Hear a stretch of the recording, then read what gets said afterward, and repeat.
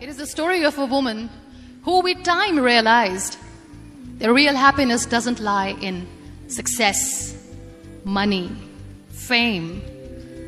It lies within. Real happiness lies in gratitude.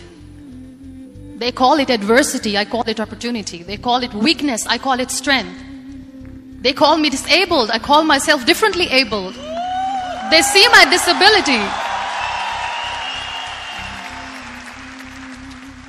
They see my disability, I see my ability. It is okay to be scared. It is okay to cry. Everything is okay, but giving up should not be an option. They always say that failure is not an option. Failure should be an option because when you fail, you get up, and then you fail, and then you get up, and that keeps you going. That's how humans are strong. Failure is an option, should be an option, but giving up is not. Never. I always say that people are so lucky they don't even realize. You must be thinking, okay, you're lucky in what sense? Well, the breath that you just took was a blessing. Embrace it.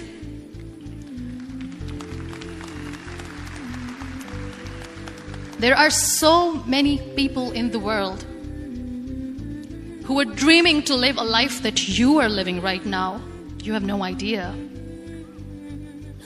Embrace each and every breath that you are taking. Celebrate your life. Live it.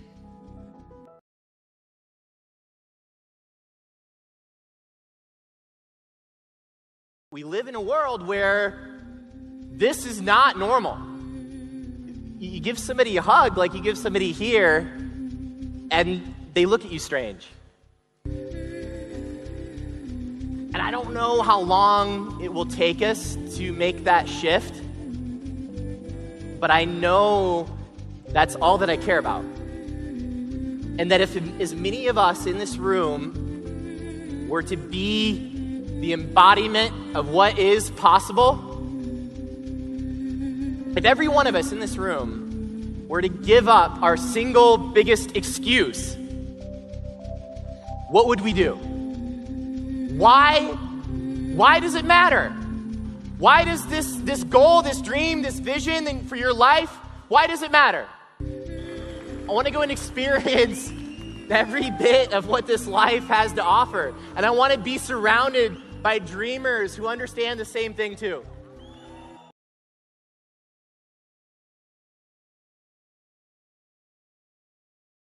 All of you here are special. That's what I want you to know. What if I told you that when I was born, every breath of life that I took could have been my last?